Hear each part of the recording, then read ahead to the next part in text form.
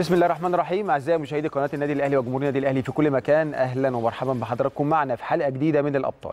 زي ما عودناكم بالميعاد كل يوم حد وأربع الساعة 8 بنكون مع حضراتكم عشان نحط الضوء على كل الألعاب الأخرى.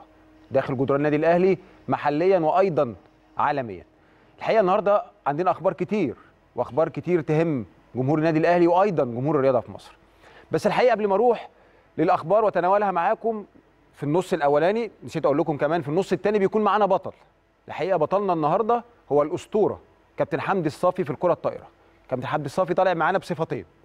أسطورة النادي الأهلي في الكرة الطائرة رجال أحد أساطيره يعني الكبار جدا. والمدير الفني لفريق الأول لكره الطائرة سيدات اللي حصل على الدوري أو حسم الدوري منذ يومين.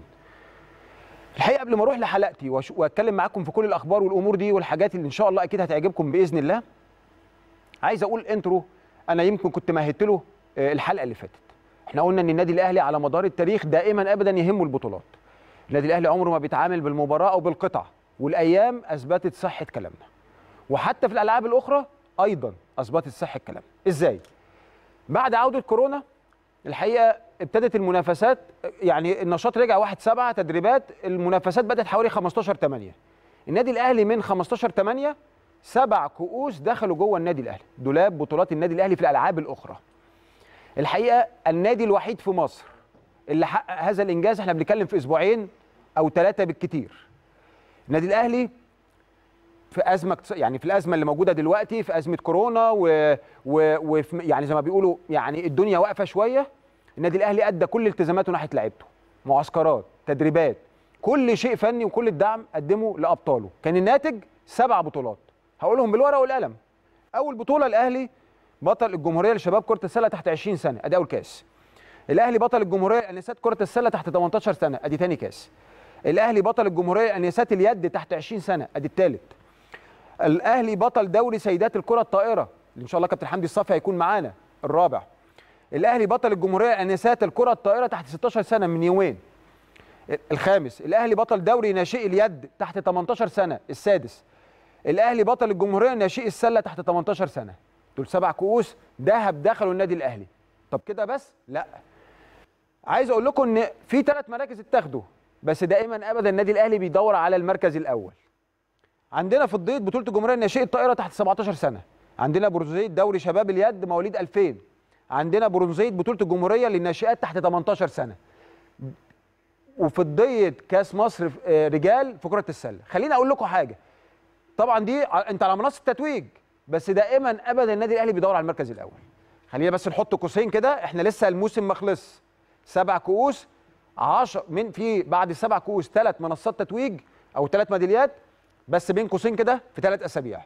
أنا بس بقول ليه الكلام ده؟ عشان بربط لكم الأحداث مع بعض. النادي الأهلي دائما ابدا. آآ آآ الهجوم اللي حصل النادي الأهلي نتيجة خسارة مباراة عمره ما هينسينا ولا هيخلينا نبص أو نشوف الدور الكبير أو ما نشوفش الدور الكبير اللي بيعمله النادي الأهلي في كل الألعاب وانه القلعه الرياضية الأولى في مصر. تمام؟ طيب. الخبر الثاني اللي يهمني برضو أتكلم عنه هو خبر عالمي.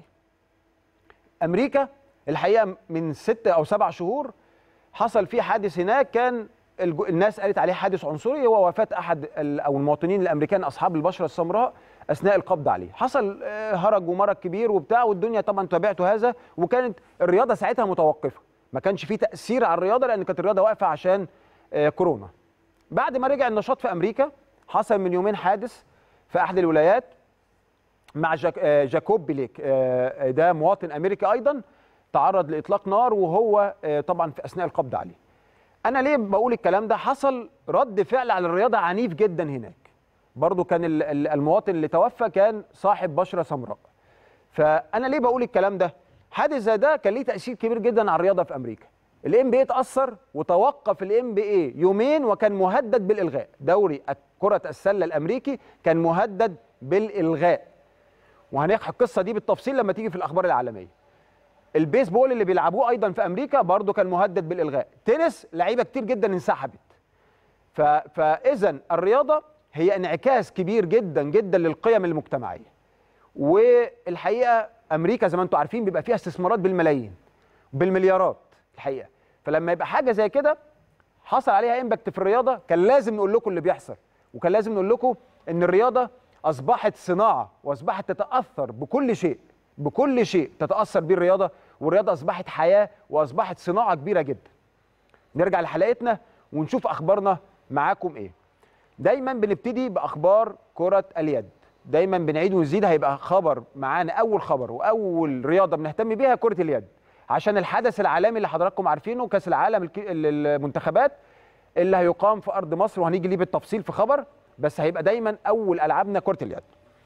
رجال يد الأهلي طبعا بقيادة الكابتن طارق محروس هزموا نادي الطيران وديا. طبعا أنتوا عارفين إن في تسع لاعبين مع المنتخب وفي باقي اللاعبين مع كابتن طارق محروس. كابتن طارق محروس كان حريص إنه يعمل ماتشات ودية ودي لقطات من المباراة عشان لما يرجع له تسع لعيبة آه، يبقى الفريق كله آه، زي ما بيقولوا مية واحدة. طيب آه، بنستعد إزاي؟ الحقيقة لغاية وقتنا هذا اتحاد كرة اليد ما حسمش قراره هيستأنف الموسم ولا لأ. طب إحنا فاضل لنا كتير؟ لأ فاضل لنا ماتشين بس. ماتش مع نادي طلائع الجيش وماتش مع الزمالك. لابد أن نفوز فيهم عشان نروح مع مباراة فيصل مع نادي الزمالك. خليني أقول لكم إن زي ما قلت لحضراتكم تاني في تسع لاعبين غايبين. إحنا فزنا المباراة 36 20 ودي ضمن سلسلة من المباريات اللي هيعملها كابتن طارق محروس عشان دايما يبقى مطمن على لعيبته. زي ما قلنا لحضراتكم إن كاميرا الأبطال هتكون مع مع أبطالنا في كل مكان. طبعا كرة اليد عشان هي اللعبة الأساسية دلوقتي اللي مصر كلها بتبص لها. كاميرا الأبطال راحت غطت المباراة أو وعملت لقاءات مع الكابتن محمد يحيى طبعا المدرب العام. خلينا نشوف التقييد ده وأرجع لحضراتكم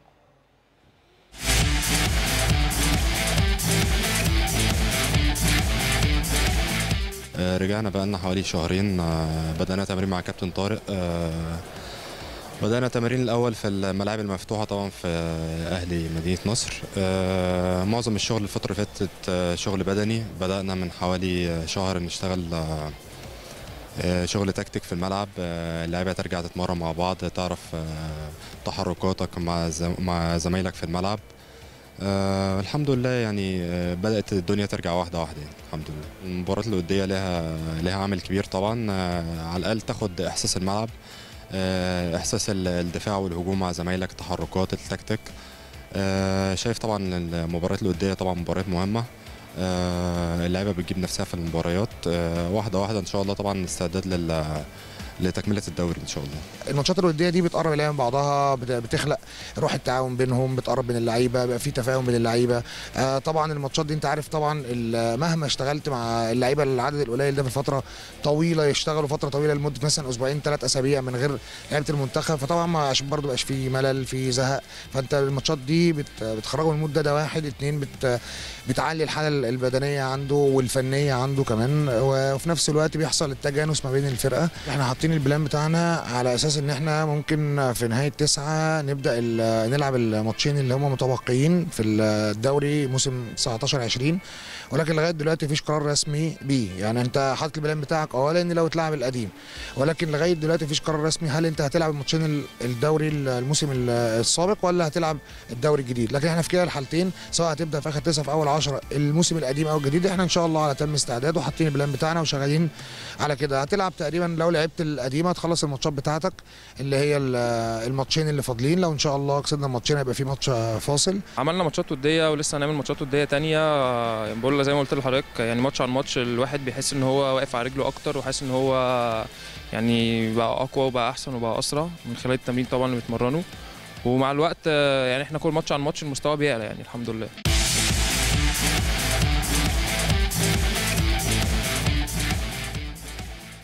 كل التوفيق لكابتن طارق محروس واللاعبين الحقيقة باين عليهم الإجهاد باين عليهم الشغل البدني جامد. أنا لعيب وكنت لعيب وعارف اللعيب لما بيبان عليه الإجهاد كل التوفيق لكابتن طارق محروس. والحقيقة برضه أنا عايز أقول إن الصفقات في كرة اليد ماشية على قدم وساق. إحنا ما عندناش طبعا آه، آه، يعني آه، ما نقدرش نقول آه، عن أي شيء بيجرى. ولكن طمنوا إن شاء الله كرة اليد بإذن الله هترجع لوضعها الطبيعي.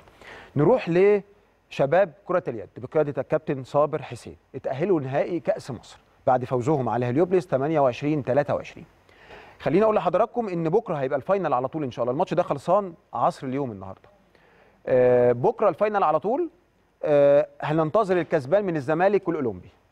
يعني النهارده الزمالك والأولمبي هيلعبوا بعض الكسبان هنلعبه بكرة بإذن الله. طبعا كأس مهم آه، بطولة مهمة لأن شباب كرة اليد دائما هم دائما ابدا بيبقوا هم نواة الفريق الكبير. كل التوفيق لكابتن صبري حسين نجم مصر والمدير الفني بالتوفيق هو ورجالته يقدروا يحققوا البطولة الغالية علينا وعليهم إن شاء الله.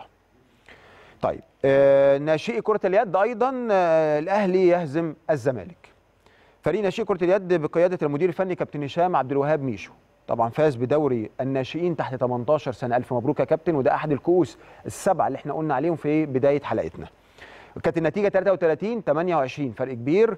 فرق يدل على التفوق منذ البداية للنهاية. الشوط الأول خلص 16 14 والشوط الثاني طبعا خلص 33 28 الفرقتين كانوا تأهلوا للمباراة النهائية بعد ما تصدر الأهلي المجموعة الأولى والزمالك كان على قمة المجموعة الثانية عملنا تقرير طبعا مع أبطالنا قبل يوم المباراة بيوم. خلينا أشوف التقرير ده وأرجع لحضراتكم تاني.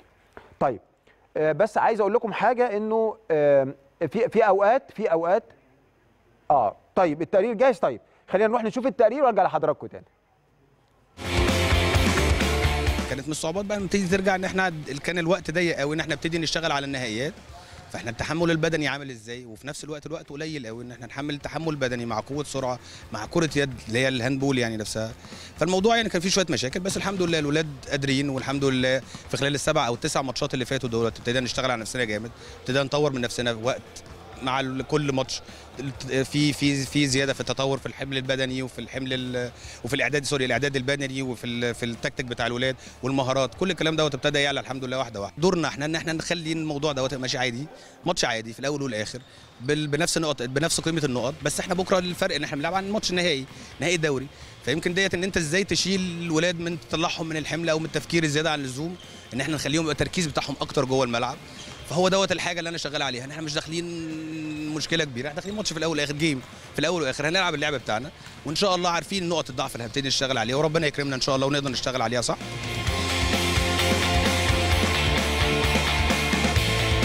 واجهتنا صعوبات في أول الموسم بس الحمد لله عديناها. خسرنا ماتش قبل كده بس الحمد لله قدرنا نعوض وقدرنا إن إحنا نكسب نادي الزمالك في المواجهات المباشرة في الدوري. والحمد لله يعني إحنا مستعدين كويس إن شاء الله وبإذن الله المكسب لينا بإذن الله يعني إحنا مستعدين كويس. نستعد عشان ناخد الدوري. إحنا معروف إن النادي الأهلي ما بيلعبش غير على الدوري بس. وإحنا يعني تعبنا من أول الدوري مع كابتن خالد ومن فترة الإعداد بتاعته كابتن ميشو برده جه كمل ومن ساعة فترة الامتحانات لما وقفتنا كنا بنتمرن برده في الامتحانات يعني ما حدش أثر فينا. ويعني رجعنا بقوه كمان يعني ما خسرناش ولا ماتش الحمد لله بعد ما رجعنا. وإحنا دايما مستعدين. مباراة الزمالك بطولة لوحدها فاحنا الدوري حاجة وماتش الزمالك بنعتبره حاجة لوحدها تانية بطولة كاملة. فيعني من أول كابتن خالد فتاح كان ماسكنا كان عامل معانا شغل قوي. بعد كده كابتن ميشو جالنا بس جات جالنا بعد فترة التوقف ديت. فترة التوقف دي كان عندنا ناس بقى ثانوية عامة كتير كان كانوا يعني مريحين كتير. ففتره ثانوية عامة ديت أثرت شوية بس هم قدروا يقوموا بسرعة و...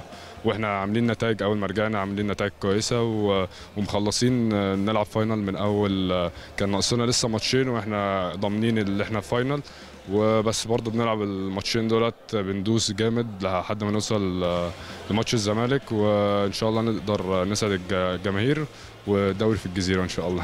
إحنا مستعدين ما استعدناش لمباراة الزمالك بس إحنا استعدينا الدوري كله. من أوله كنا ناويين إن الدوري يرجع هنا تاني الجزيرة عشان إحنا اتغلبنا الموسم اللي فات. في مباراة قوية ما بيننا وما بين نادي الزمالك. وال... فإحنا كنا مستعدين للدوري ده وناويين إن هو هيخلص إن شاء الله في الجزيرة هنا. بس فاحنا استعدينا لكل الفرق ومن أول الدوري والصعوبات طبعا اللي واجهتنا إنك بتقابل فرق كلها محترمة. إحنا كده كده صاعدين داخلين ال final كان لسه في مشكلة الناحيه الثانية في المجموعة الثانية مع الزمالك كنا لسه مش عارفين مين اللي هيجي لنا في ال final بس إحنا كنا جاهزين إن إحنا كده كده خلاص إحنا في ال final وكنا بنأسس بقى إن إحنا مستنيين مين اللي هيجي لنا بس كنا بنظبط شغلنا بعد فترة التوقف اللي إحنا وقفناها. آه كابتن هشام ادانا تعليمات كتير جدا لل... للماتش. اتكلمنا كتير في الماتش عاملين له عاملين له حساب كبير جدا.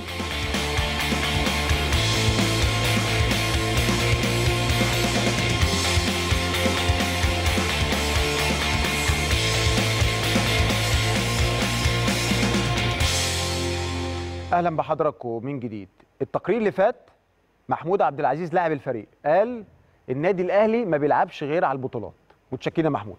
نفس اللغة اللي إحنا بنتكلمها هنا هتلاقي نفس اللغة دي جوه النادي الأهلي مع كل اللاعبين. صدقوني النادي الأهلي ما بيعترفش غير بالمركز الأول لا يتعامل بالقطعه تمام؟ أكيد الرسالة وصلت إن حتى مش كرة القدم بس الألعاب الجماعية والألعاب الفردية بيفكروا نفس التفكير. طيب أنا كنت قلت خبر من شوية إن النادي الأهلي تأهل للمباراة النهائية بعد ما فاز على هليوبلس آه، وكان منتظر الكسبان من الزمالك والاولمبي الزمالك كسب. يبقى إحنا بكره ان شاء الله هنلاعب الزمالك على نهائي شباب كرة اليد. كأس مصر شباب كرة اليد بكره إن شاء الله المباراة وأكيد هنقول لحضراتكم النتيجة وأكيد هتتذاع على قناة النادي الأهلي النتيجة. هنقول النتيجة كام؟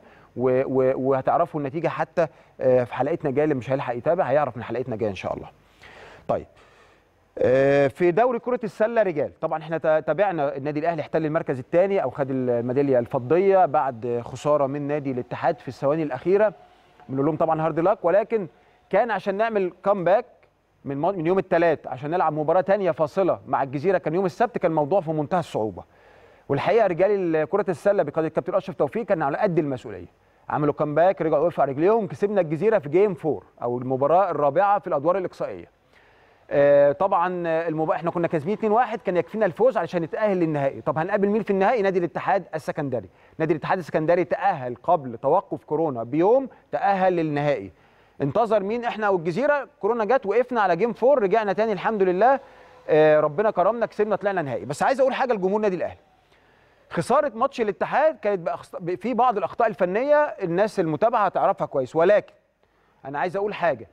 فريق كرة السلة لأسباب ما ما قدرش يعمل مباريات ودية قبل آه، كأس آه، كأس مصر. آه، أسباب كان فيها أمور خارجة عن إرادة الفريق. الأخطاء الفنية دي مع ماتش سبورتنج ومع ماتش الاتحاد تم تلافيها في ماتش الجزيرة وكانت النتيجة هي الفوز بعد extra time بنتيجة 66 63 مباراة كانت امبارح.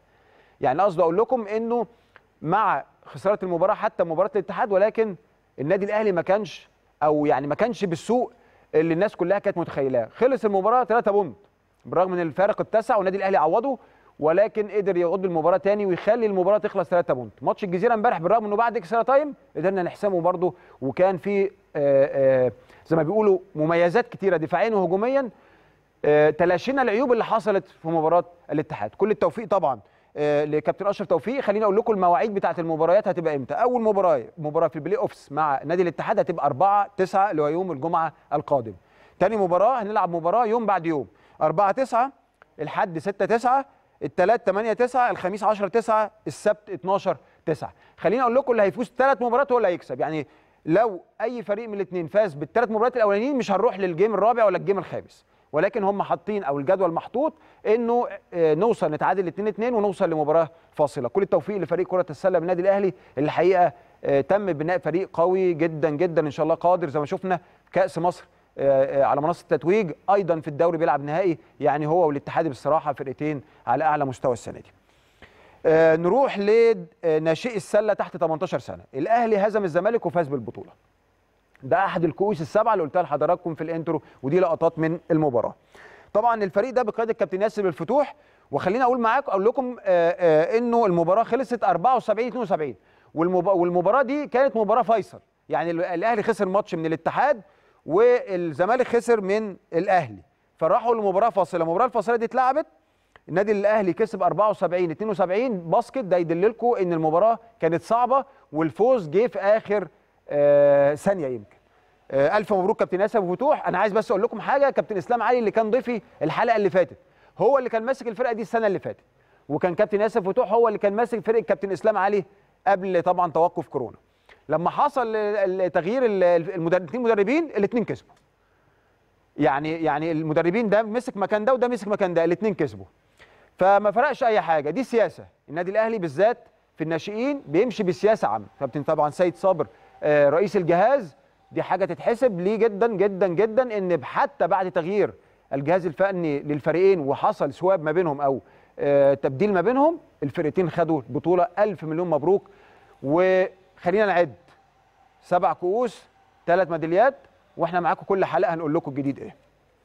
طيب آه، فريق السيدات اللي الحقيقة قلنا مرارا وتكرارا فريق السيدات كرة السلة بقيادة الكابتن علي هاشم. مرارا وتكرارا قلنا إن الفريق ده أكتر فريق استفاد من التوقف. إحنا شايفين لقطات آه، ارشيفيه من من للفريق من مبارياته. كانوا بيلعبوا هليوبلس في المباراة دي. طبعا لما اخذنا المركز الثاني في القرعة بتاعت ال- الأدوار الإقصائية جه في سكتنا التأمين. فزنا 2-0 إحنا بنلعب في الرجال best of five أو أحسن خمس آه، آه، ماتشات أو الأحسن في الخمسة. البنات بيلعبوا أحسن في الثلاثه لأن طبعا اللياقة البدنية بتفرق بين البنات والولاد. النتيجة المباراة الأولى خلصت 79 46 المباراة الثانية 65 54 2 0 تأهلنا للمباراة اللي بعد كده عشان نقابل هليوبلس هيبقى في قبل النهائي. هيبقوا ثلاث مباريات إن شاء الله هيبقوا صعبين الفرقة محتاجة تركز. هليوبلس خد كأس مصر. النادي الأهلي ما شاء الله فرقة واقفة على رجليها. طبعا يعني أكيد كلنا سمعنا ولسه طبعا وقت الإعلان ما جاش في صفقات جديدة.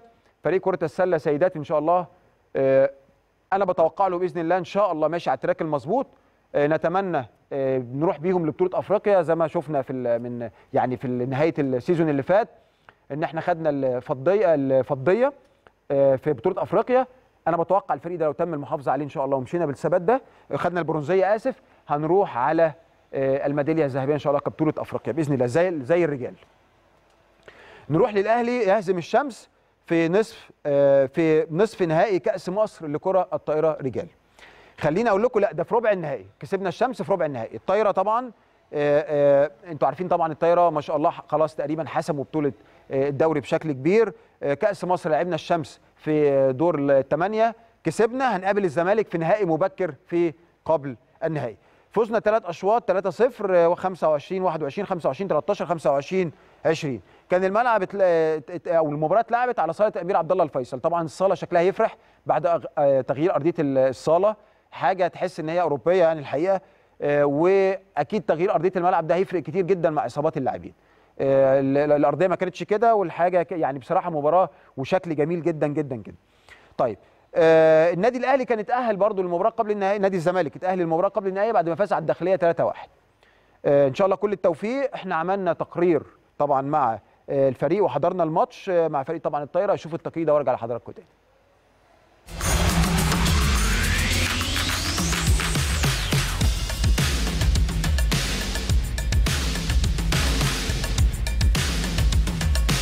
الحمد لله طبعا نتيجة النهارده. آه، فرقة الشمس فرقة محترمة. آه، ده ماتش في دور الثمانيه آه، النهارده إحنا كنا بنحاول نشرك آه، أكبر عدد من اللعيبة. وخصوصا اللعيبة اللي هي الصغيرة أو ال- اللي نسبة مشاركتها كانت قليلة في الفترة اللي فاتت ده راجع اللي هم كانوا مصابين أو عندهم ظروف خاصة. آه، النهارده اللعيبة دي لعبت والحمد لله كانوا يعني على قد الماتش وعملوا اللي عليهم والحمد لله النتيجة كانت 3-0 والله إحنا عندنا عبد الرحمن سعودي عنده آه، شد في آه، منشأ عضلة يعني من عند الحوض كده. شغال مع الدكتور سامح ظلام بقى له فترة عمل إشاعة والمفروض إن هو إن شاء الله في أقرب وقت يعني هيرجع إن شاء الله. آه، عندنا يوسف الصافي امبارح بدأ يشتكي من ظهره كده شوية بس إن شاء الله تبقى شد حاجة خفيفة. إن شاء الله ماتش الزمالك في دور الأربعة في كأس مصر عندنا بعديه ماتشات آه، فاضل لنا حوالي أربع أو خمس ماتشات في الدوري آه، من ضمنهم ماتش الزمالك تاني وماتش الجيش وماتش سموحة. الماتشات دي مهمة جدا جدا آه، إن شاء الله يكونوا على قد المسؤولية وهم طول يعني معودينا إن هم رجالة ودايما بيعملوا اللي عليهم وإن شاء الله يفرحونا زي ما فرحونا بالبطوله العربيه نكسب إن شاء الله الدوري والكاس بإذن الله رب العالمين.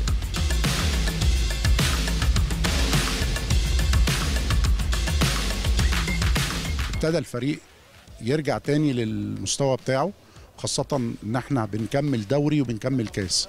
الفترة الكبيرة اللي حصلت ديا تمام؟ آه، طبعا عملت دروب مع الفريق. كان لازم جدا كله يتكاتف عشان الفريق يرجع تاني واخد بال حضرتك للياقة بتاعته اللي هي كنا سايبينها وخاصة إن إحنا واخدين بطولة عربية لعبنا بعديها بقى ماتشين وبعد كده حصل التوقف. نطمن الجمهور النادي ومجلس إدارة النادي إن إحنا إن شاء الله آه، هنتجاوز كل الصعاب اللي عدت إن إحنا نحصل على البطولة الدوري والكاس. وربنا يكرم إن شاء الله تتلعب بطولة أفريقيا قبل نهاية السنة 2020 عبد الرحمن ده لعيب صغير ومستقبله حلو في الملعب. ومفروض إن هو promising إن هو يبقى يعني الثلاثات اللي جاي الفترة الجاية دي في مصر كلها. فإحنا مركزين معاه وحتى إحنا مريحينه تماما. وكابتن ميدو يعني بصراحة يعني فوق ممتاز في النقطة ديت. إن هو ما بيتدخلش تماما في القرار الطبي. طول ما عبد الرحمن يعني اللي هو يعني القرار الطبي إن هو ما ينزلش ما بيستعجلش وبيستغل ال- ال keys اللي موجوده عنده في الملعب.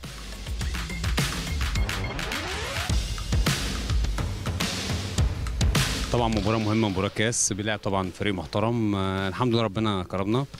ماتش مهم طبعا يأهلنا semi final مع نادي الزمالك بإذن الله. طبعا بشكر اللعيبة وبشكر الجهاز الفني الحمد لله. شاركنا كلنا بصورة كويسة واللعيبة ادت ما عليها الحمد لله رب العالمين. رسالة مهمة جدا. بنشوفهم في السنة مرة بننظم بطوله أفريقية هنا. بقول لهم إن شاء الله ربنا يكرم إن شاء الله نفرحكم كالعادة بإذن الله. و... والدوري موجود بإذن الله زي ما هو في الجزيرة بإذن الله والكاس بإذن الله رب العالمين. يبقى موسم سعيد علينا إن شاء الله وعلى النادي الأهلي جميعا بإذن الله. عندنا ماتشات في الدوري مهمة مسافرين آه، بكرة إن شاء الله اسكندرية. عندنا ماتش مهم مع سموحة هناك. ده تركيزنا دلوقتي كله ماتش سموحة وبعد كده نرجع إن شاء الله كسبانين ونبدأ نركز آه، بعد ما الدوري يخلص بإذن الله نبدأ نكمل مرحلة الكاس وإن شاء الله ربنا يكرمنا السنة دي بدوري وكاس ونفرح إن شاء الله جمهور النادي الأهلي كله. الجمهور طبعا هو رقم واحد آه، في النادي الأهلي. إحنا بنلعب عشان نفرح الجماهير ونتمنى منهم يساندونا وإن شاء الله نقدر نفرحهم قريب يعني بإذن الله.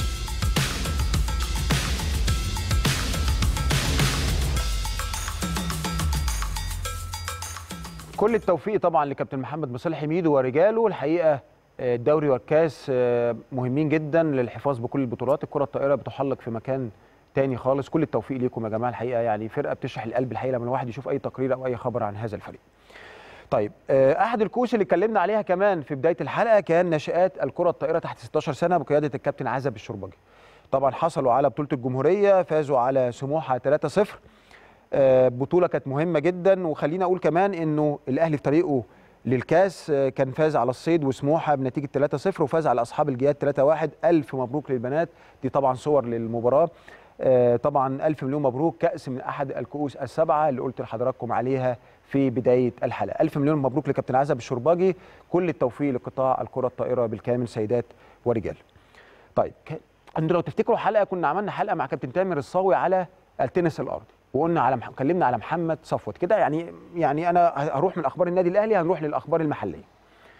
محمد صفوت ده أحسن لاعب تنس أرضي موجود دلوقتي وأعلى ranking في آه، مصر. أو آه، يعني أعلى لاعب ranking على مستوى العالم في مصر. ترتيبه كام؟ ترتيبه ال 131 طيب في بطولة آه، بطولة أمريكا المفتوحة. دي أحد البطولات المهمة جدا اللي بتفرق مع اللاعب في ال rank بتاعه. مجموع جوائزها عالية جدا. يعني أنا تقريبا تقارب ال 30 مليون دولار آه، بطولة مهمة جدا مهمة جدا.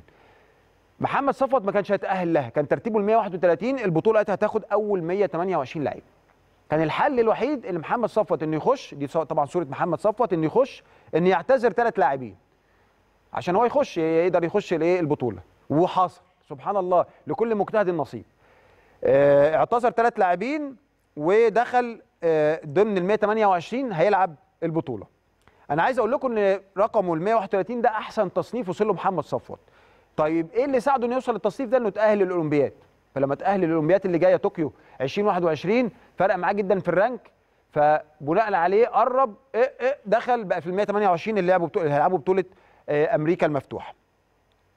طيب إيه ليه ليه, ليه اللعيبة دي اعتذرت؟ اللعيبة دي اعتذرت عشان البطولة الحقيقة خدوا قرارات خنقوا شوية على اللعيبة قال لك كل لعيب ليه مرافق واحد. اللعيبة دي أو لعيبة التنس دلوقتي بقت استثمارات كبيرة لعيبة التنس بيروحوا بفريق كامل إعداد بدني مدرب إعداد نفسي فريق كامل فلقى اللعيبة كتير جدا قالت لك أنا مش رايحه بالفريق بتاعي خلاص هعتذر. الحاجة الثانية إن يبقى المرافق اللي معاك يبقى واحد بس زائد طبعا إجراءات التباعد الاجتماعي والحاجات دي. اللعيبة اعتذرت التلات لعيبة اعتذروا. محمد صفوت دخل الحقيقة كل التوفيق لمحمد صفوت وعلى فكرة هنتابعه في البطولة وهنجيب لكم أخباره آه، لأن إحنا ورا ابطالنا في كل مكان. والحقيقة كان لينا إحنا الشرف إن إحنا حطينا الضوء على محمد وكنا من اوائل البرامج الرياضية إن إحنا نقول يا جماعة خلي بالكم عندنا لعيب هايل اسمه محمد صفوت في التنس وأتمنى إن شاء الله يخش في ال top 100 players على العالم كله. طيب زي ما قلنا عندنا أخبار محلية أيضا في الخبر اللي يخص كرة اليد.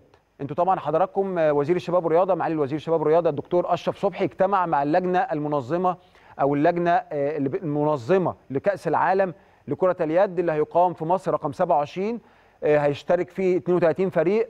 هيبقى من الفترة من 13 ل 31 يناير. دكتور أشرف صبحي قعد مع اللجنة المنظمة. ليه قعد معاهم؟ عشان في قرعة هتتعمل يوم 5 9 في قرعة هتتعمل يوم 5 9 يوم السبت القادم. هتتعمل عند أهرامات الجيزة. حدث عالمي كبير العالم كله هيشوفه. 32 دولة في العالم هتشوفه اللي مشاركين زائد المهتمين بكرة اليد. إذا حدث يهم مصر كلها. وأنا بناشد من هنا جمهور النادي الأهلي وكل جمهور الرياضة إنه يدعم هذا الحدث لأن هو في بين قوسين كده مصر. آه، وزير الشباب والرياضة اجتمع. مين كان في الاجتماع؟ شفنا من شوية الصور كان الم- المهندس هشام نصر رئيس الاتحاد. كابتن حسين لبيب طبعا نجم مصر السابق مدير البطولة وعدد من قيادات وزارة الرياضة. طبعا الصورة أهي. الاجتماع طبعا كان عشان الاستعداد للقرعة حفل الافتتاح حفل الختام. كل تفصيلة صغيرة آه، الدكتور أش... الدكتور أشرف صبحي مهتم بيها جدا آه، ولابد أن يخرج إن شاء الله هذا الحدث بالشكل الذي يليق باسم مصر العظيم. طيب قبل ما نتنقل معاكم للأخبار العالمية الحقيقة عندنا في أخبار كتيرة. هطلع لفاصل وارجع لحضراتكم ابقوا معنا.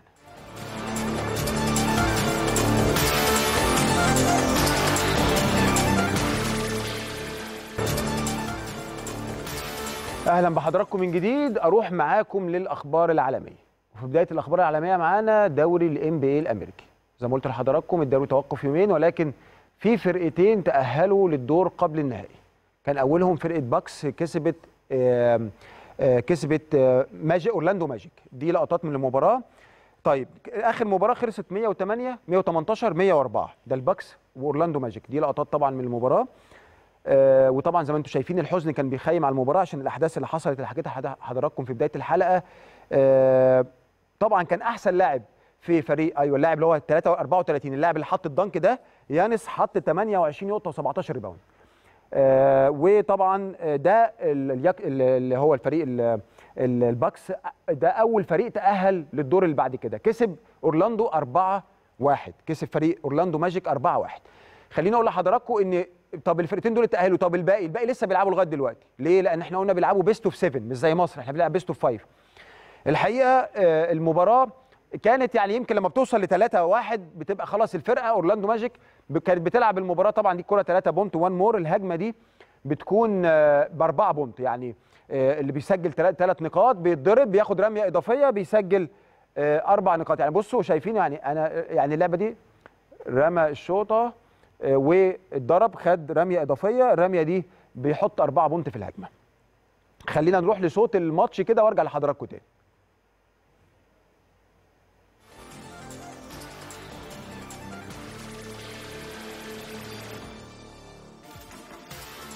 تاني الفرقه اللي تأهلت في دوري ال NBA كان لوس أنجلوس ليكرز. كسب بليزرز 4-1 في مجمل المباريات. آخر مباراة كانت نتيجتها 131 122 طبعا آه، ليكرز بيضم أفضل لاعب في العالم اللي هو ليبرون جيمس لاعب رقم 23 هتشوفوه دلوقتي في الفيديو وديفيز آه، أو أنتوني ديفيز اللي هو لاعب الارتكاز آه، رقم ثلاثة الاثنين دول أهم اثنين لعيبة.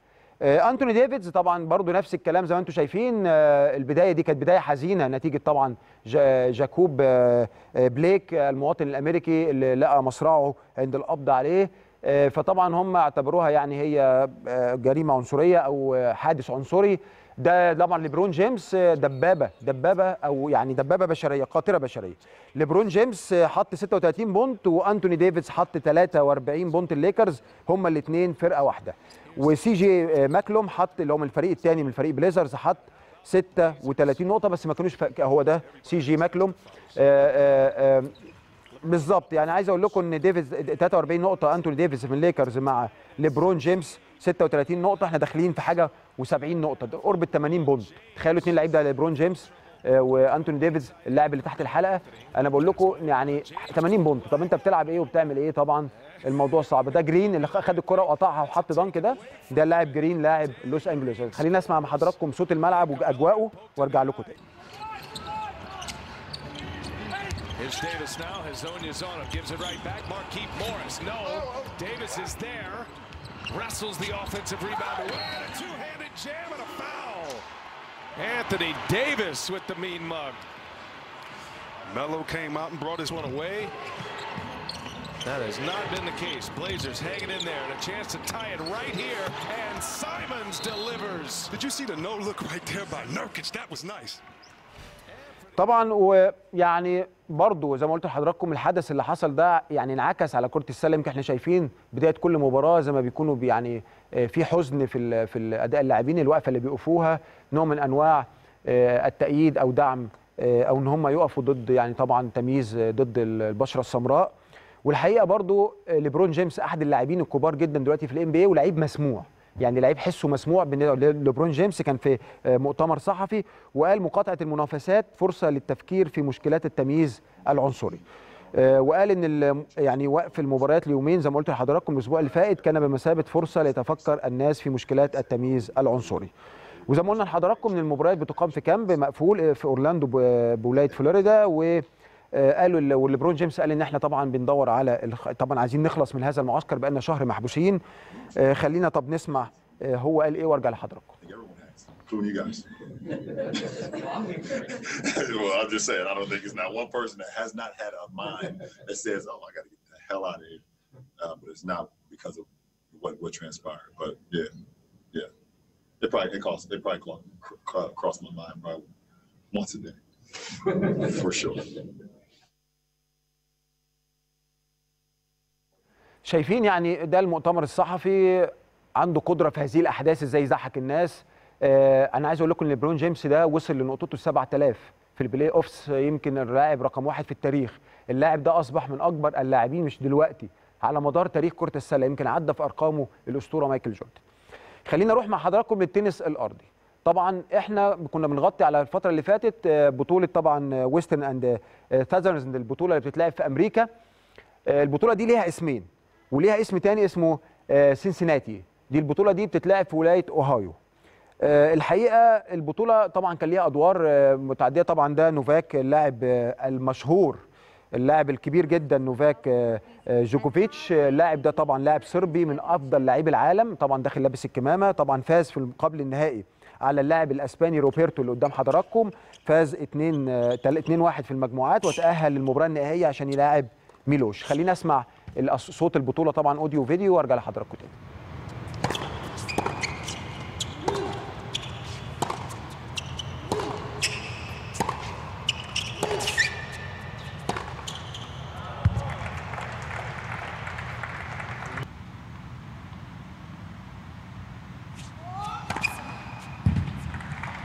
Four zero. Djokovic.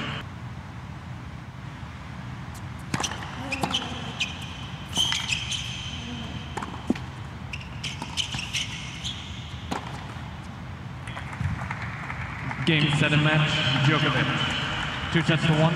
Four six. Six four. Seven six.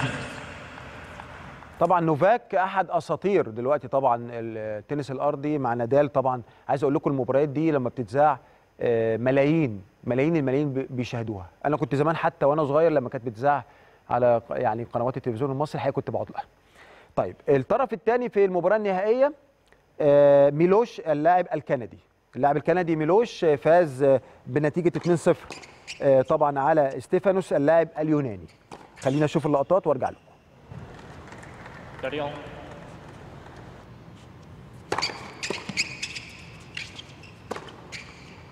Six five. Ranich.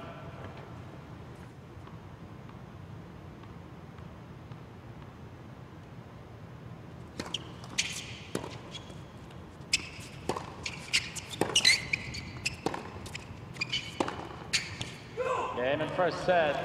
Ranich.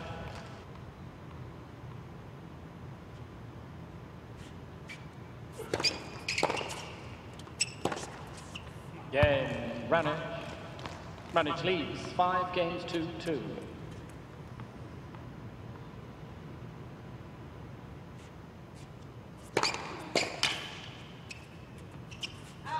Game, set and match. Ranich. Two sets to love, seven, six, six, three. أنا بس مش عارف حضراتكم خدتوا بالكم ولا لا الملعب فاضي مفيش جمهور. الحاجة الثانية اللعيبه وهي بتسلم على بعض بعد المباراة ما سلموش بإيديهم سلموا سلموا بالمضارب. وطبعا ده حاجات إحنا ما كناش يعني لو بنحلم إن الإجراءات دي تحصل في الرياضة الحقيقة ما كانش في دماغنا خالص. ربنا يكرم إن شاء الله والأزمة دي تعدي على خير وطبعا يتم احتواء هذا المرض يعني. طيب آه، في في السيدات حصل حاجة غريبة في هذه البطولة اللي هي طبعا زي ما قلنا Western and Southern اللي هي ليها اسمين أزارينكا اللاعبة لاعبه بيلاروسيا. آه، طلعت فاينل مع اللعيبة نعومي أوساكا لعيبة اليابان اللي هي السمراء يابانيه سمراء شوية. آه، الحقيقة نعومي انسحبت. فكانت حاجة ظريفة نعومي دي انسحبت من المباراة النهائية و آه، طبعا عندها أربطة في ركبتها. طب انسحبت ليه؟ هي بال- بالرغم إنها هتشارك في بطولة أمريكا المفتوحة اللي جاية هي انسحبت عشان تفضل إن هي تبقى جاهزة للبطولة اللي جاية. هي خافت تلعب المباراة دي تكسب أو تخسر بس ما تلعبش اللي بعديها. أنا عايز أقول لكم إن ألعاب المضرب بيبقى ليها حسابات شوية غير الألعاب الجماعية. خلينا نتفرج على اللقطات وأرجع لكم تاني. Love 30.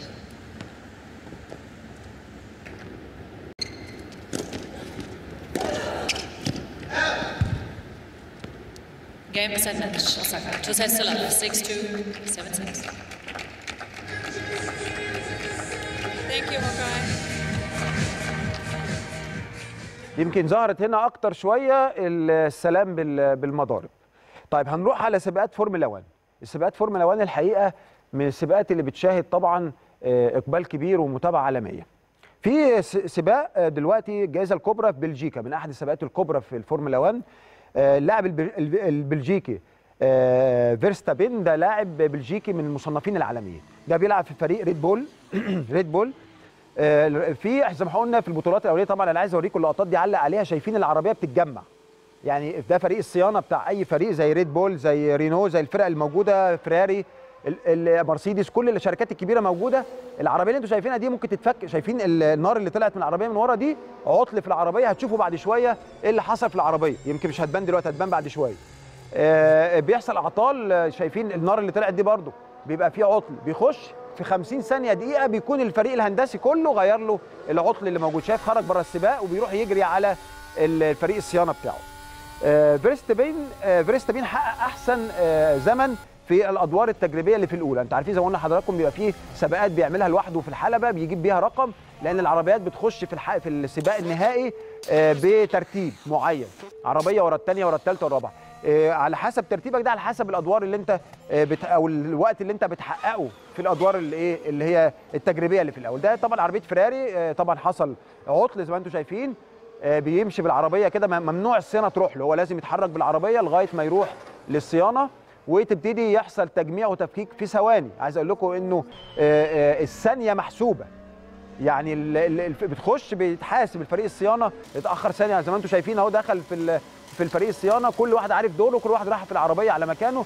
الحقيقة علم تاني وتكنولوجيا جديدة. وعايز أقول لكم إن بيحصل أهي دي اللي أنا قلت لكم عليها. العربية آه، حصل فيها عطل شديد. والعربية زي ما أنتم شايفين راح على الصيانة. الموضوع ما بقاش آه، مجرد سباقات عربيات بتجري لا ده بقى فكر. لدرجة إن الأسرار دي بقى الشركات بتخبيها على بعض. آه، طبعا زي ما أنتم شايفين الطاره بتاعت السائق فيها آه، مش بس بنزين وفرامل لا ده فيها parameters كتير جدا. ده فريق فراري زي ما حضراتكم شايفين. بيحصل تجميع لل- للعربيات. parameters كتير جدا بتهم السائق- الس- السائقين ما بقاش الموضوع وبقى الموضوع معقد جدا. طيب خلينا نروح ل آه، طبعا سباقات ال GP أو Moto GP زي ما قلنا أو سباقات الموتوسيكلات ثلاث ثلاث ثلاثة category في Moto GP في Moto 1 Moto 2 ال Moto GP طبعا كان عندنا الروسي ارتم لاجوتا هو طبعا أحسن آه، أو حقق أحسن آه، رقم أو أحسن زمن في سباق الجائزة الكبرى. البطولة دي كانت يوم الجمعة اللي فاتت وكانت في بولندا. واحتل طبعا آه، ارتم لاجوتا الروسي احتل المركز الأول. خلينا نشوف اللقطات دي مع حضراتكم ونستمتع بيها وأرجع لكم تاني.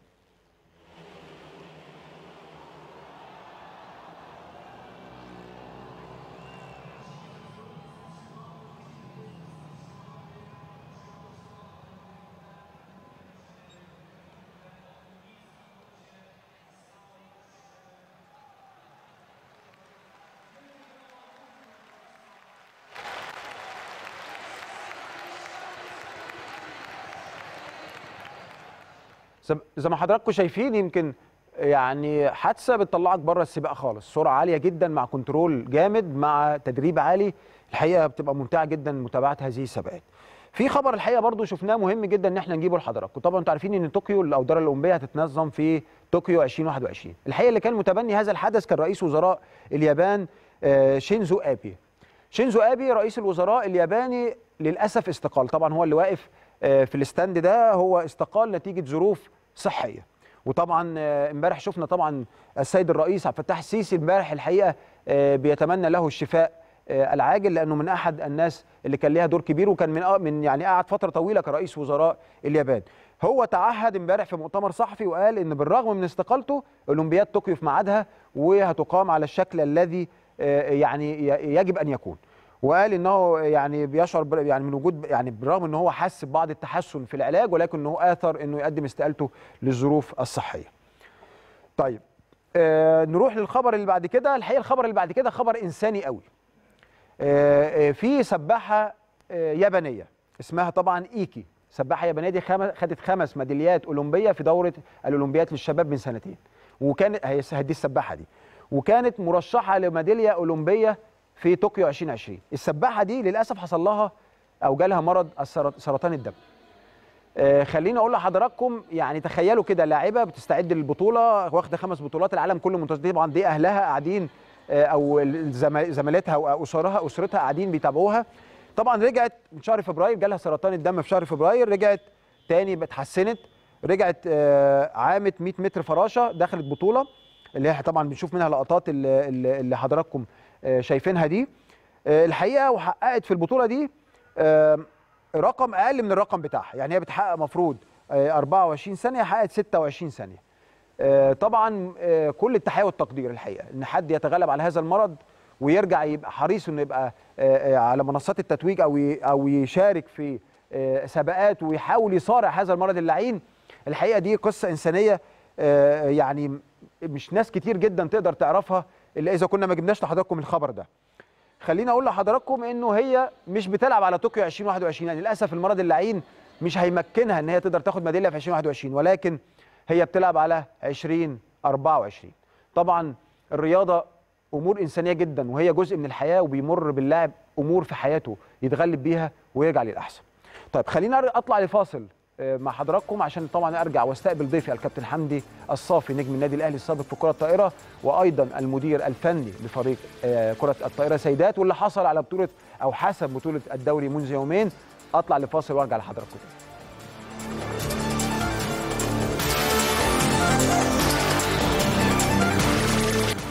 أهلا بحضراتكم من جديد. آه، طبعا في البداية برحب بضيفي أحد أساطير الكرة الطائرة في النادي الأهلي بل في مصر كلها. والمدير الفني لفريق الكرة الطائرة سيدات واللي حصل بطولة الدوري العام أو حسب بطولة الدوري العام منذ يومين. أهلا بك يا كابتن. ازيك يا كابتن هيثم ازي حضرتك؟ منورنا ومنور قناة النادي الأهلي. الله يخليك. أنا مبسوط طبعا إن أنا موجود في قناة الأهلي بعد التطوير الكبير اللي أنا شايفه. ده حاجة الحقيقة عظمة جدا. وببارك لك طبعا على عودتك مرة أخرى وت... وإن أنت منور قناة الأهلي طبعا في البرنامج الجديد. ربنا يخليك يا كابتن وده. طبعا بيتكو قناة النادي الأهلي حضرتك عارف إنها جزء لا يتجزأ من آه، النادي الأهلي و- وحضرتك طالما يعني شرفتنا وكنا بنستمتع بحضرتك. طيب كابتن حمدي إحنا عملنا كده يعني في أو آه، لحضرتك كده عن آه، يعني إنجازاتك وعن دورك الكبير جدا ومشوارك. في الكرة الطائرة. طب تحب نشوف ونرجع لحضرتك تاني؟ تمام ماشي. أعزائي المشاهدين نروح للتقرير عن كابتن حمدي الصافي وأرجع لحضراتكم تاني.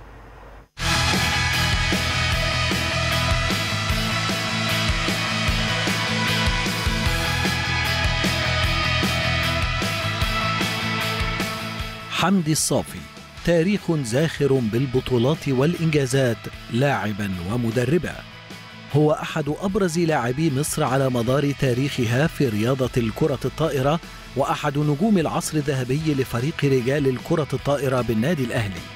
السد العالي أو قاعدة الصواريخ أو الهرم الرابع. ألقاب عديدة أطلقها محبو حمدي الصافي عليه. هو من مواليد الثالث عشر من أبريل عام 1972 بالإسكندرية. بدأ ممارسة الكرة الطائرة في الثانية عشرة من عمره في دوري المدارس قبل أن يضمه نادي سموحة السكندري عن طريق أسامة محرم قبل أن ينضم لصفوف المارد الأحمر عام 90 وبعدها نجح حمدي الصافي في حفر اسمه بأحرف من ذهب في سجلات كافة الألعاب الرياضية بعد أن بات أكثر رياضي في تاريخ الرياضة المصرية تحقيقا للبطولات. حيث حقق أسطورة الكرة الطائرة المصرية العديد من البطولات خلال مشواره كلاعب وكمدير فني. جاءت بطولات الصافي كلاعب في صفوف الشياطين الحمر كالآتي. 13 لقبا للدوري الممتاز. بجانب 12 لقبا لبطولة كأس مصر. فضلا عن تحقيق سبعة ألقاب من مسابقة بطولة إفريقيا للأندية أبطال الدوري وخمسة ألقاب من مسابقة بطولة أبطال إفريقيا للأندية أبطال الكأس إضافة إلى خمسة ألقاب للبطولة العربية. كما حقق لقب دوري أبطال آسيا عندما كان محترفا بأحد الأندية هناك واستطاع الصافي الفوز مع المنتخب الوطني بثلاثة ألقاب لبطولة الأمم الإفريقية وبطولة عربية ودورتين للألعاب الإفريقية وذهبية بطولة ألعاب البحر المتوسط في ألميريا بإسبانيا عام 2005 كما شارك في دورتين للأولمبياد في سيدني عام 2000 وبكين 2008 كما شارك في ثلاث بطولات لكأس العالم أعوام 95 و2003 و2007 ومثلهم لبطولة العالم أعوام 98 و2002 و2006 وحصل على وسام الرياضة من الطبقة الأولى عام 2008 ثم اعتزل في عام 2010 وقاد سيدات طائرة الأهلي للتحليق في سماء مصر والعرب وإفريقيا بعدما حصد الدوري الممتاز خلال ستة أعوام متتالية وخمس بطولات لكأس مصر وأربع بطولات لبطولة إفريقيا للأندية أبطال الدوري وبطولتين للأندية العربية. ويأمل الصافي في التتويج بكافة البطولات رفقة فتيات الذهب خلال الأعوام المقبلة بعدما رسخ داخل أذهان الجماهير الأهلاوية أن الفريق لا يعرف معنى سوى الفوز ومنصات التتويج.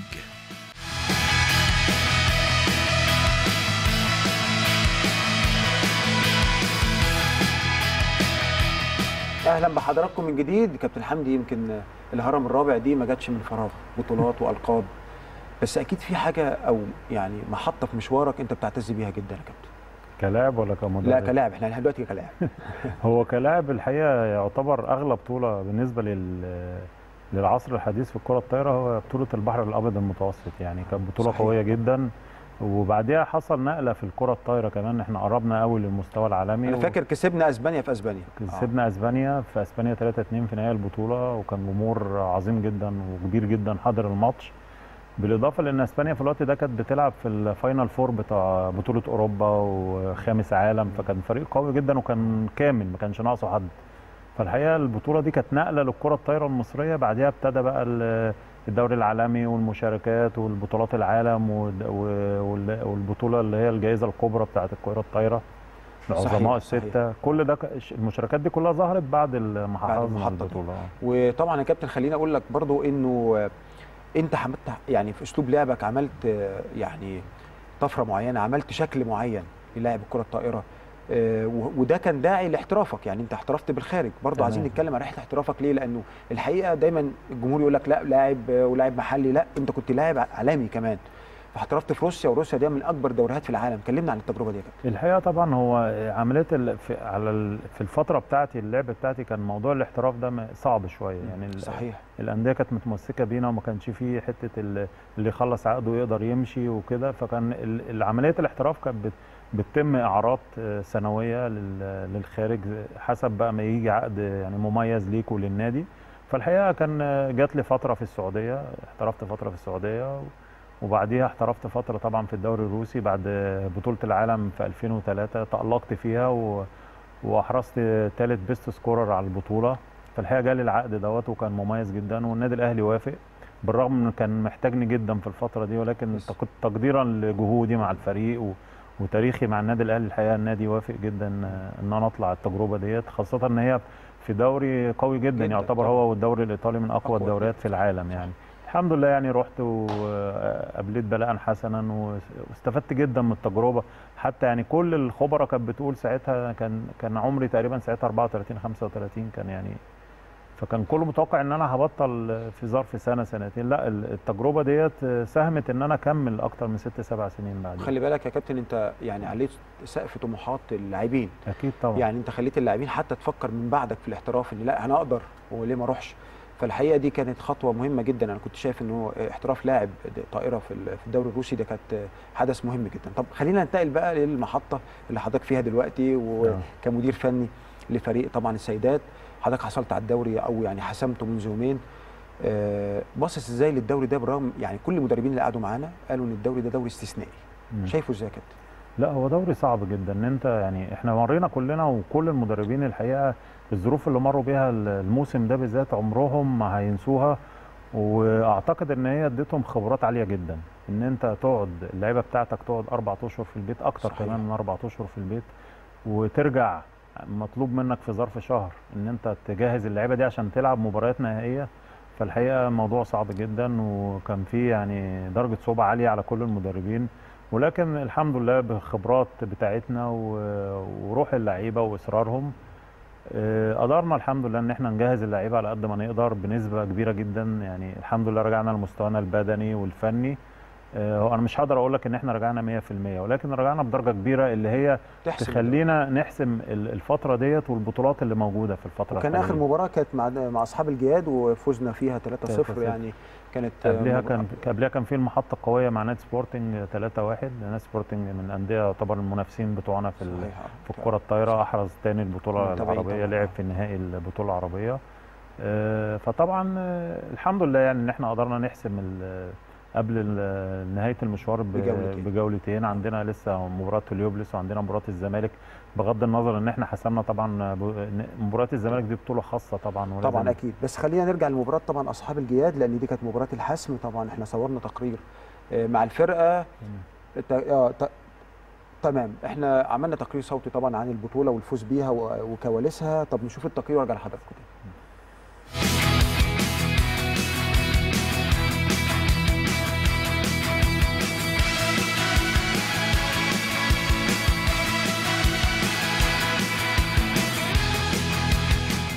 فتيات الذهب وحكاية ربع قرن من السيطرة على بطولات الكرة الطائرة المصرية. توج الفريق الأول لسيدات الكرة الطائرة بالنادي الأهلي بقيادة حمد الصافي المدير الفني بلقب الدوري الممتاز عقب فوزه على نظيره أصحاب الجياد بثلاثة أشواط نظيفة خلال المباراة التي أقيمت بينهما على صالة الشهداء بمقر الأهلي بالجزيرة.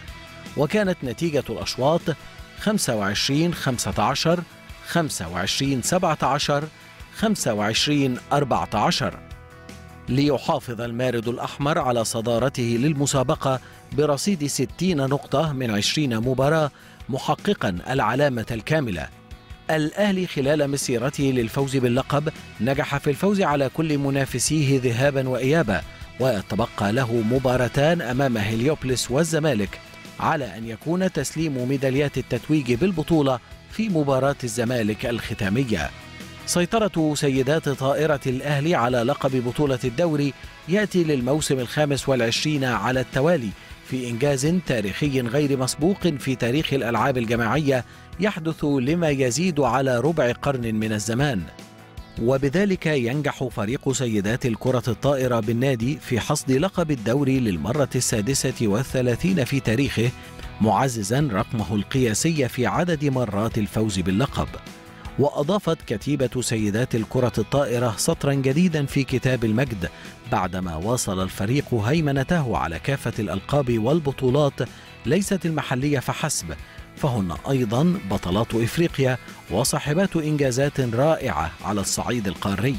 فالنسر الأهلوي هو البطل التاريخي لبطولة إفريقيا للأندية بعدما نجح في تحقيق لقب البطولة العام الماضي محققا اللقب العاشر في تاريخ مشاركاته كأكثر الأندية تحقيقا للقب وبفارق كبير عن أقرب ملاحقيه.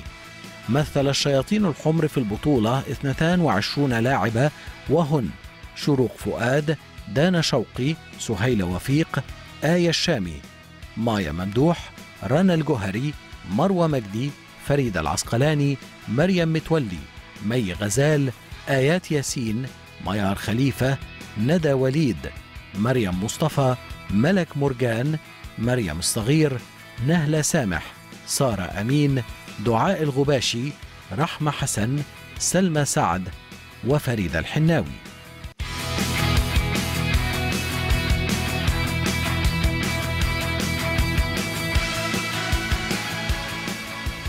أهلا بحضراتكم من جديد يعني رحنا للتقرير الصوتي رجعنا خدنا بطوله. بس في ال 30 ثانية دول. أنا بتكلم بجد مش بهزر. آه، شباب الطايرة تحت 19 سنة بقياده الكابتن حسام شعراوي فازوا ببطوله الجمهورية حالا بعد ما فازوا على سموحة آه، في المباراة اللي كانت بتق- بتقام آه، دلوقتي وإحنا طالعين البرنامج. أدي الكاس الثامن. رحنا فاصل ورجعنا كاس ثامن دخل النادي الأهلي. خليكم بس عدوا معانا عشان إن شاء الله الكؤوس الفترة الجاية هتزيد يعني بشكل كبير لأن المنافسات في آخرها إن شاء الله. كابتن يعني يمكن مشوار مع الدوري ربع قرن من الزمان احتكار بطولة الدوري العام للسيدات. آه، رقم كبير ورقم يخض وعدد سنين متتالية وده ما جاش آه، من فراغ جه نتيجة تعاقب أجيال. تعليق على ده يا كابتن. لا طبعا الكرة الطايرة في النادي الأهلي متأصلة يعني سيدات ورجال معروفين إن لهم تاريخ كبير في تاريخ البطولات خاصة طبعا في البطولات المحلية بالإضافة طبعا للمشاركات العربية أكيد، والأفريقية ده أكيد. طبعاً. بس في المحلية يعني الكرة الطايرة مسيطرة شوية في ال- 25 سنة ما شاء الله ربع قرن 25 من سنة آه. أعتقد إحنا أعتقد إن إحنا مرة يعني زمان خسرنا بطولة كده عشان ال... الإداري ما الإداري ما راحش بالكرنيهات. دي تقريبا البطولة الوحيدة دي الحاجة الوحيدة اللي تخلينا نخسر. البطولة الوحيدة اللي خسرها النادي الأهلي في الربع قرن خدت الأخير كام يعني. بطولة من 25 دول يا كابتن؟ أنا بالنسبة لي في الدوري آه، ده الموسم السادس ليا. ما شاء الله. يعني تقريبا ده تقريبا يعني آه، نقول آه، يعني نقول الربع تقريبا ما شاء الله 25% يعني. آه، ودي لقطات يا كابتن على فكرة من مباراة الجياد حضرتك. بتشوفها معانا دلوقتي. ودي لقطات منها كانت أثناء المباراة كانت كاميرا الأبطال هناك لأنه كان مباراة الحسم وكنا معاكم في في البطولة. يمكن كان الأهم كمان من الجياد يا كابتن كان بيتهيألي ماتش سبورتنج حضرتك قلت اللي قبليه آه ماتش سبورتنج كان فريق كويس يعني المنافس المباشر بتاعنا هو والزمالك فكان مم.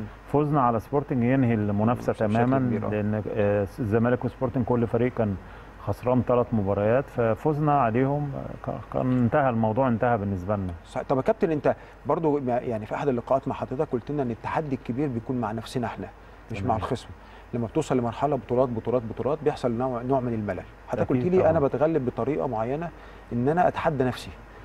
نسمع تاني من حضرتك الكلام ده لو حد ما سمعوش منا قبل كده. والله بص هو موضوع إن أنت تبقى بتلعب والناس عارفة إن أنت لازم تكسب أو متعودة إن أنت تكسب ده موضوع صعب جدا يعني. صحيح. آه يعني أنت خلاص ما قدامكش حل غير المكسب. الناس يعني كل ما تفتح ال- الاهلي يحرز بطولة في الكرة الطايرة سيدات أو الرجال.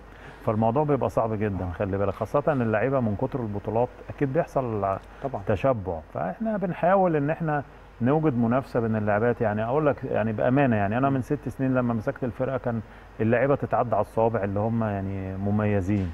دلوقتي الحمد لله إحنا عندنا الفرقة زي ما سمعت الأسماء 22 آه، لاعب وال- لاعيبه شاركوا في في الدوري. فده عدد كبير جدا. ما فيش نادي في في الدوري أو في مصر قدر إنه إنه يخلي 22 لاعيبة من ضمنهم طبعا نشأت إن هم يشاركوا في الدوري. أقصى حاجة أقصى نادي بيشارك 14 لاعب 15 صحيح لاعب. صحيح. فإن أنت توجد منافسة بين 22 لاعيبة وفي كل مركز الحمد لله موجود أربعة وخمسة والمستويات قريبة جدا من بعض اللعيبة الناشئين ابتدوا ياخدوا خبرات من اللعيبة الكبار بتوعنا. فهو ده اللي أنا بحاول أعمله أعمل منافسة بين اللعيبة منافسة شريفة. في ظل الالتزام آه، بالمبادئ بتاعتنا والقيم بتاعه النادي الأهلي دي حاجة مهمة جدا إن إحنا عندنا. كل واحد لعيب أو فرد من من أفراد الجهاز الفني عارف دوره. صحيح التزام نمرة واحد دي أهم حاجة عندنا الالتزام. وبعد كده بنبص بقى للناحية الفنية. في مبادئ وقيم النادي الأهلي ما بيخرجش منها. أكيد طيب طبعاً. الحقيقة لازم أطلع فاصل آه، وحضراتكم ونرجع تاني عشان نستكمل الحوار الشيق مع كابتن النادي الأهلي وطبعا أسطورة والهرم الرابع في الكره الطائرة الكابتن حمدي الصافي. نطلع لفاصل وأرجع لحضراتكم. أهلا بحضراتكم من جديد. بنكمل حوارنا مع الكابتن حمدي الصافي. كابتن يمكن كان في بطولة من ثلاث سنين أتذكر كانت البطولة البطولة الأفريقية في تونس. تمام. وخسرناها وكنت وكلمنا حضرتك من من هنا واتصلنا بيك وحضرتك أنا فاكر كويس قوي قلت لنا ميعادنا كمان سنة. لا، فاكر, فاكر يعني- المكالمة دي. فكرني بالمكالمة دي والوعد اللي قطعته على نفسك وإزاي نفذته بعد سنة فضلت فاكره؟ الحقيقة البطولة ديت من البطولات الواحد ما ينساهاش ابدا لأن إحنا كنا مرشح قوي جدا ومرشح أول للبطولة. ولكن بعض الأخطاء طبعا وبعض الثقة الزايدة عن الحد طبعا كتر البطولات آه، بت- بتخلي فيه ثقة زيادة. كنا رايحين فعلا إن إحنا نجيب البطولة ونرجع بدون كلام. دي كانت كام يا كابتن؟ 2006 2018 17 صح 17 صح 2017 فعلا أه الثقة الزايدة وبعض الأخطاء طبعا ضيعت مننا البطولة. آه، أنا يعني اتكلمنا مع اللاعبات واجتمعنا وقلنا ان إن إحنا الدرس ده لازم نتعلمه. عندنا سنة كاملة لازم نشتغل فيها بجد جدا. البطولة الجاية- السنة الجاية ممكن تبقى في أرضنا ولازم نفرح جمهورنا ونعوضه. الحمد لله الناس كلها تعهدت وفعلا اللعيبة ما استريحتش الموسم ده خالص. لما أحرزوا اللقب كان في صالة النادي الأهلي في 2018 وكان نهائي قوي جدا على قرطاج التونسي يعني. وحضرتك أنا فاكر في المكالمة قلت لي آه، يا كابتن إحنا ميعادنا كمان سنة. أنا الكلمة. بصراحة هزتني. ان انت واخد عهد على نفسك ومش هتنساه والبطولة اللي راحت منها هنرجعها فده لو بيدل بيدل على شخصية النادي الأهلي. تمام. يعني لما تبقى كابتن النادي الأهلي ده عبء كبير ما بالك بتنقله إزاي بقى كمدرب للبنات معاك يا كابتن؟ بتنقله إزاي؟ بص هم ال- البنات الحقيقة ال- اللاعبات بتوعنا بتوع النادي الأهلي يعني شاربين روح الأهلي بأمانة يعني. صحيح. هم يعني عاوزين بس حد ينظم لهم الدنيا حد يظبط لهم التدريبات حد يظبط لهم فنيا. إنما هم لما بي- بيخشوا في mood البطولات الحقيقة يعني حطهم على ال track خلاص وظبط لهم الدنيا هم بيشتغلوا أوتوماتيك ما شاء الله فعلا يعني مم. طبعا مع الشغل بتاعنا الفني طبعا وال والبدني والتكتيك والحاجات دي بس هم فعلا روحهم عالية جدا آه، أنا في خلال الست سنين اللي ضربتهم فيها كنت شغال على العامل النفسي بدرجة صحيح. كبيرة. جدا حتى لما كان بيبقى في كبوات كنا بنشتغل بدرجة كبيرة على العامل النفسي ده كان بيجيب نتيجة كويسة جدا معاهم. وفي نفس الوقت العامل الفني والبدني ده إحنا ما عندناش مشكلة. لعيب النادي الأهلي متعود على الالتزام بتاعه بيجي في ميعاد تمرينه بيتمرن كويس وهو متعودين على تمرين قوي ما عنديش مشكلة فيه. إنما كنت بركز قوي وبزود في الحتة ال- النفسية دي بالذات في الكبوات يمكن. ده ظهر يا كابتن في التقرير اللي إحنا سجلناه. إحنا سجلنا تقرير يمكن بعد مباراة أصحاب الجياد وحسم بطولة الدوري مع البنات. خلينا نشوف التقرير ده مع حضرتك. تمام. نرجع اعزائي المشاهدين نشوف تقرير سجلناه بعد بطولة أو مباراة أصحاب الجياد اللي حسم فيها الدوري مع اللاعبات. نشوف التقرير وأرجع لحضراتكم تاني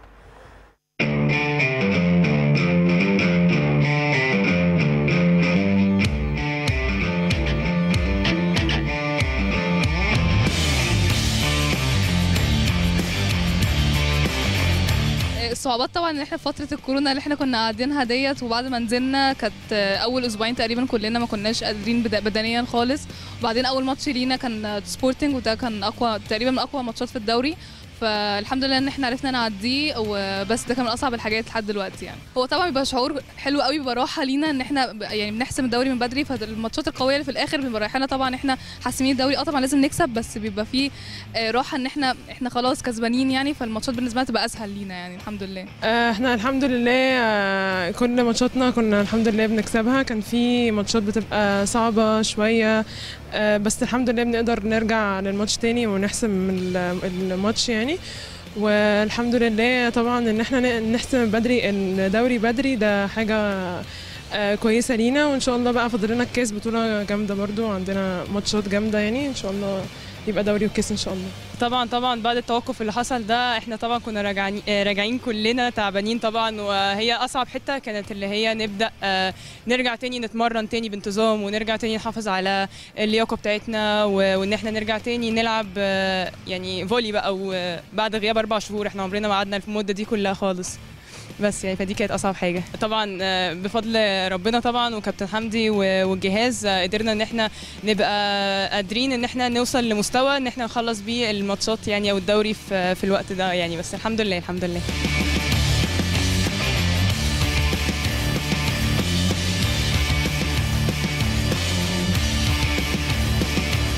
طبعا ال season ده كان مختلف شوية عن كل season بسبب التوقف اللي حصل ثلاث أشهر ويمكن الفترة دي صعبة على أي رياضي يعني إنه ينقطع عن التدريبات اليومية ويرجع للمنافسات على طول فالموضوع كان صعب شوية.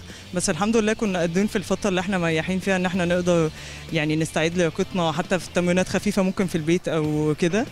بس وقدرنا الحمد لله نرجع واحدة واحدة قبل ما نستأنف يعني الدوري. لعبنا ماتشات ودية ماتشين وديين مع فرق قوية.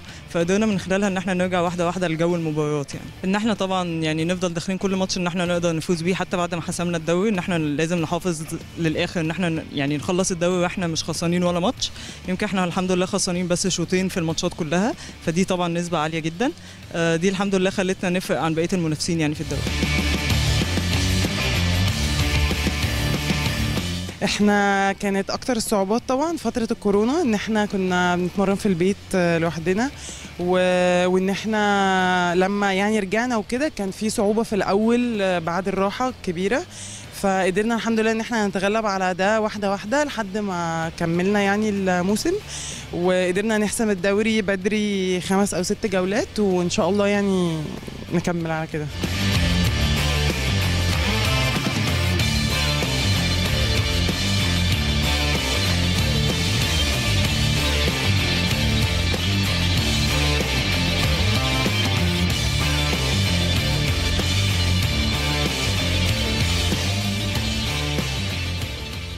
أهلا بحضراتكم من جديد. كابتن حمدي يمكن البنات عارفة هي بتعمل إيه وحاجة مشرفة جدا. بس خليني أسأل حضرتك سؤال.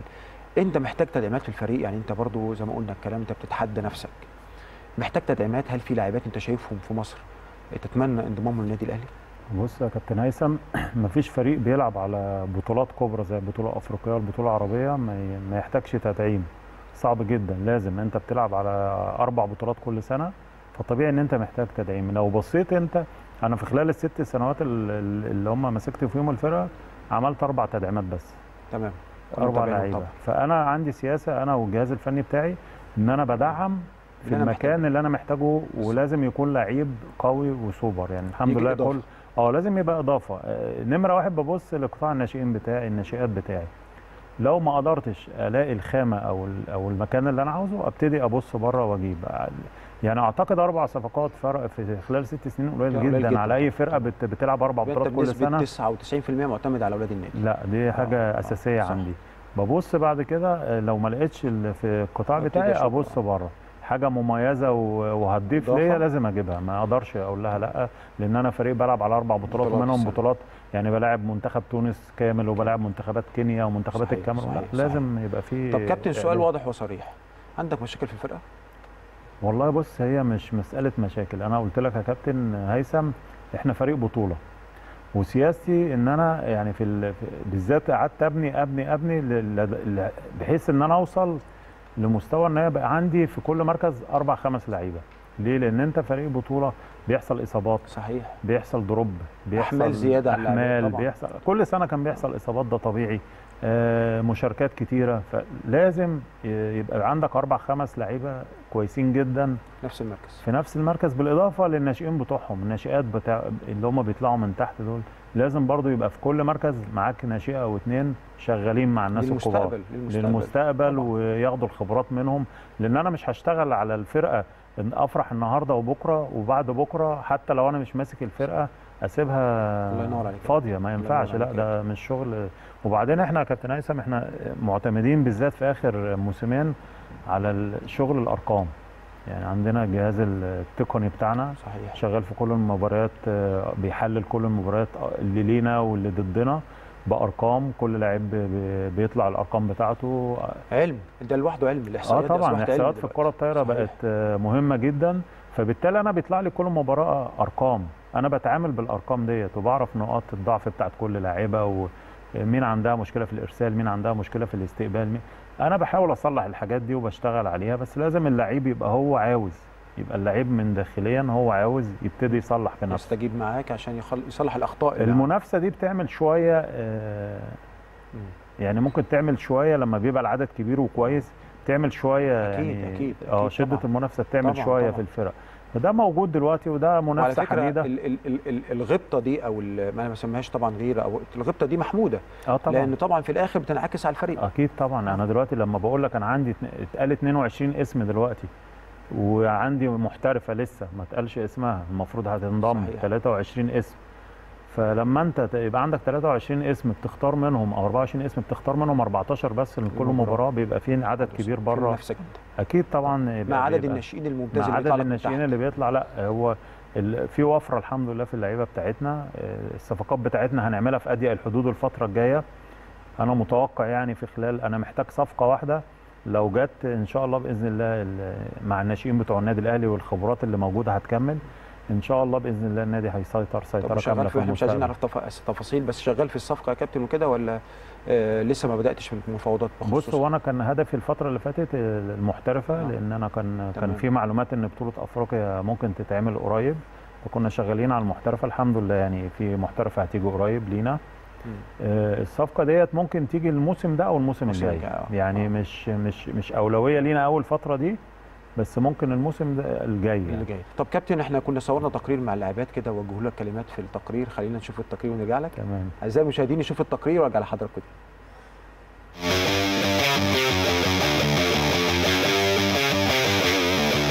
كابتن حمدي بنشكرك كلنا يعني كل الفرقه على مجهودك معانا وإن إحنا آه، وقت صعب قوي إن إحنا نرجع في وقت قليل كده. آه، كابتن ياسر كابتن أيمن كابتن رانيا كل الناس.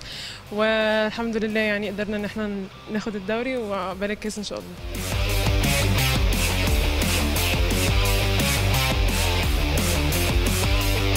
حضرتك طبعا ليك فضل كبير قوي عليا في في الدرجة الأولى وبشكرك على كل حاجة عملتها عملتها لي.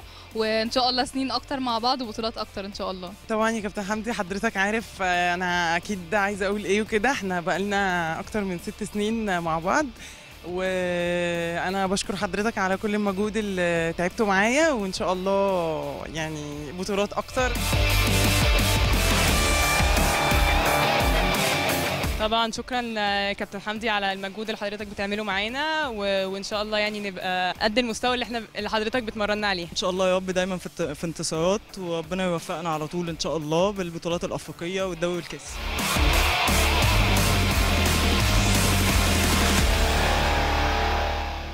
يمكن آه، كابتن حمدي بيبان قد إيه الترابط ما بين الفرقة في اللحظات دي. يعني يمكن لما لاعب بيوجه لمدربه كلمة بيبان قد إيه اللاعب في روح أسري واحد ما بين اللاعبين. يعني تعلق إيه على الكلام ده كابتن؟ لا طبعا أنا زي ما قلت لك أنا بشكر اللاعبات دول. يعني في خلال ست سنوات عملنا بطولات كتيرة جدا. يعني كفاية أربع بطولات أفريقية و... واثنين بطولة عربية الحقيقة. يعني في فترة قليلة جدا. يعني تاريخ صعب إن هو. صحيح. يتحقق صحيح لسه عندهم ده غير. المحلي كمان آه لا أنا ما بتكلمش. في المحلي المحلي إحنا واخدينه آه طبعا لا ما بيتعدش بس لا يتعدى أنت ما أنا بتعدوش بس على بلاد آه أنا بتكلم في الحاجات اللي هي ال- القوية آه، اللي على المستوى القاري أو العربي وخلي الحاجات بالك كابتن أنت عندك. البطولة العربية زي الأفريقية لأن شمال آه، لا، أفريقيا بيشاركوا هم. هم نفس آه. الثلاث فرق بتوع البطولة العربية المنافسين بيبقوا موجودين في الأفريقية بيزيد عليهم الكاميرون وكينيا فبيبقى تقريبا نفس المستوى البطولتين طب كابتن. معلش أنا بقطع حضرتك يعني الصورة دي معلش كلمنا عنها واللحظات دي كلمنا عنها يا كابتن. الحقيقة طبعا آه، اللحظات دي ما الواحد ما يقدرش ينساها. بطولة كانت قوية جدا وبطولة غالية علينا لما ال- الأسطورة كابتن خطيب يجي يسلمنا الكاس والدكتور عمرو علواني و... الصورة دي فيها أساطير كتير قوي آه الحمد لله. يعني الحقيقة الصورة ديت أنا بحتفظ بيها طبعا في في المكتبة عندي من أهم الصور في المكتبة عندي. حاجة جميلة وكان تنظيم رائع والدكتور طبعاً. عمرو علواني. والاتحاد المصري كان موجود و... لا يعني الحقيقة كان أساطير. تنظيم كان تنظيم رائع من النادي الأهلي وعلى فكرة الدول الأفريقية كلها بتحب الأهلي ينظم آه، البطولة آه، ديت آه. لأن بيبقوا تنظيم عالي جدا وبي... والمستوى الفني بيبقى عالي بيبقى فيه ال... ال... كل الإمكانيات متوفرة لكل الفرق حتى إحنا صحيح. يعني كنادي أهلي اللي بيتوفر لفرقة الأهلي بيتوفر للفرق التانية. بي- طبعاً، نفس ده حسن المستوى الضيافة طبعاً. نفس المستوى من أدوات التدريب والملاعب والإقامة كل ده حاجة مش زي غريب عن الأهلي يا كابتن. يعني فعلا الناس حابة إن هي تيجي مصر دايما دائما ابدا مصر أم- النادي الأهلي في البطولات دايما. دايما ابدا مصر ام الدنيا طب سريعا يا. كابتن في يعني ثواني قليلة كده آه، طموحاتك الفترة الجاية والله طبعا طموحاتي طبعا أنا إن شاء الله بإذن الله في الفترة القريبة دي نقدر نحسم الكاس بتاعنا ون- ونقفل صفحة ال- الموسم اللي فات. نبتدي بقى نفكر في المستقبل بتاعنا مستقبل الفرقة. السنة الجاية هيبقى عندنا تحديات كتيرة. كابتن هيثم أنا قبل كده قلت لك مش إحنا بس اللي شغالين كل الفرق شغالة. نادي الزمالك عنده اثنين محترفين السنة دي. نادي سبورتنج كان عنده محترفة. كل الفرق ابتدت تفكر وتشتغل بف- بفكر احترافي. فالمنافسة صعبة جدا أكيد الفترة كابتن أكيد يا الجاية. كابتن. بشكرك كابتن حمدي الصافي طبعا أسطورة النادي الأهلي نورت وشرفت قناة الأهلي يا كابتن. شكرا يا كابتن عايز ومزيد من التوفيق وإن شاء الله بطولات كتير كتير كتير إن شاء الله على يا ايديكم بإذن إن الله شاء الله أعزائي المشاهدين هنا انتهت قصة بطل. إن شاء الله الحلقة القادمة هيكون معانا بطل جديد وأخبار جديدة كلكم تهمكم كلكم إن شاء الله. استنونا يوم الأربعاء القادم الساعة 8 وقصة جديدة وبطل جديد وبرنامج الأبطال. شكرا جزيلا.